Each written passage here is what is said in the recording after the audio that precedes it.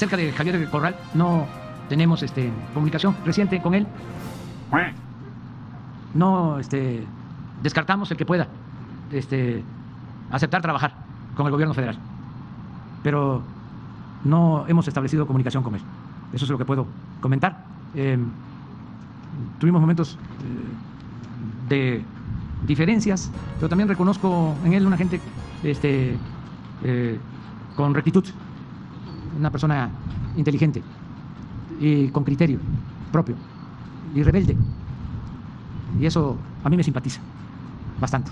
Eh, miren, eh, vamos a, dar a conocer dentro de poco la incorporación al servicio exterior de eh, exgobernadores, exgobernadoras que van a representar a México en el extranjero muy pronto y estamos buscando este, que sea una representación muy plural, porque México es así.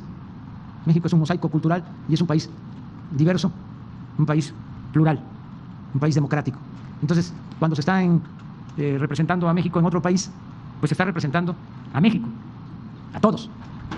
Entonces no pueden ser solo de una corriente de pensamiento de un partido, sino que puedan estar todos y que busquemos siempre la conciliación, este, la armonía y el diálogo y el acuerdo, como lo tenemos con la gobernadora de Chihuahua.